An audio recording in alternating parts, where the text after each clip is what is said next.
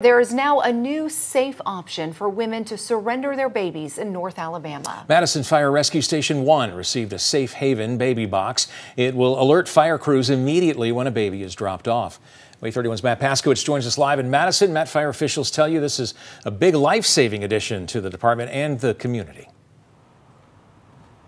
Hey, Dana Marie. Excitement is really an understatement. That's the way these fire officials are feeling right now. And Dan Pickens with Madison Fire and Rescue tells me the entire department has been anxiously awaiting the arrival of this safe haven baby box, especially with it going to become the only baby box throughout all of North Alabama. You might recall back in June when the Alabama legislature approved the use of these baby boxes throughout the entire state. Now, how do these work?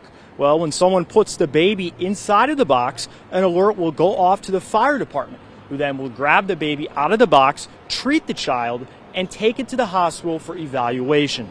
And Pickens says he wishes the baby boxes didn't have to exist, but he said he's grateful there's a new way to save babies' lives. Our preference would be this box never had to get used.